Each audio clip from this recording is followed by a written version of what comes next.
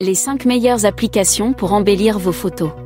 Embellir une photo avant de la partager sur les réseaux est devenu très à la mode, réduire la luminosité, augmenter le contraste, redimensionner une image ou effacer un élément, les applications de retouche photo sont faites pour ça. Il existe des milliers d'applications de ce genre, gratuites ou payantes, il y en a pour tous les goûts. Le vrai défi est d'arriver à trouver une bonne application complète et satisfaisante. Voici une sélection des 5 meilleures applications pour embellir vos photos. FaceApp.